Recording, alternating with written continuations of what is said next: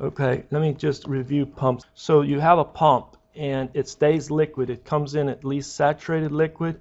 It could come in subcooled liquid, but it definitely goes out compressed liquid. Okay, so let's call it state, I don't know, 4 and state 5.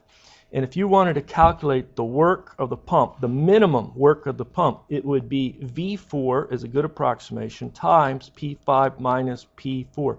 That comes from the minus the integral VDP out of the end of chapter 6. Okay.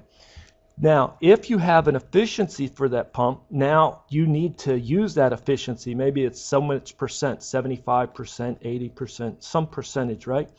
The efficiency of the pump. So the work of the pump actual is going to be greater. You divide by the, the efficiency, isentropic efficiency of the pump, WP min.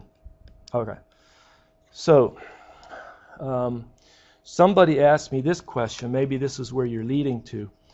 Uh, why can't we just do it this way? Why can't we know the pressure at 4 and the entropy at 4? Know the pressure, the goal, the pressure at 5, and then just say S5 is equal to S4, and then look up and find H5, and then calculate the work of the pump is equal to H5 minus H4.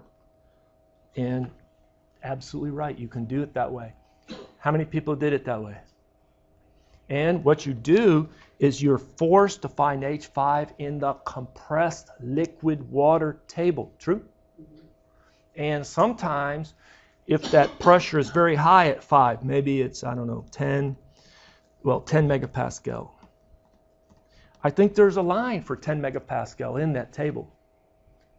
Okay? So it'll it, so you don't, don't have to do a double interpolation, pressure and entropy. You just need to do a single interpolation with entropy.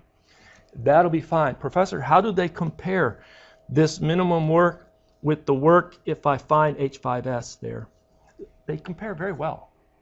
Are they going to be good to four digits? No, they're not. They're not going to be good to four digits. This is this is an when you have the the the integral VDP and you approximate that V as being constant through the process, through the pump, that's an approximation. Okay. Also, you're doing linear interpolation in the table to find H5S. Linear interpolation is a little bit of approximation too. So, so uh, both methods will work.